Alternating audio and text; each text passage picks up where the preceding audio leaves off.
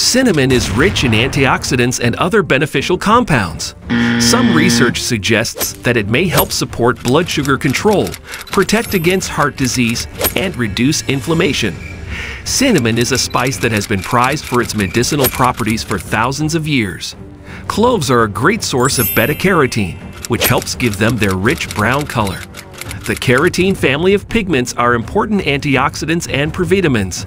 Carotene pigments can convert into vitamin A, an important nutrient for keeping your eyes healthy. Ingredients Cinnamon, cloves. Drink one glass before bed. But do not forget about contraindications. Be sure to consult your doctor before use.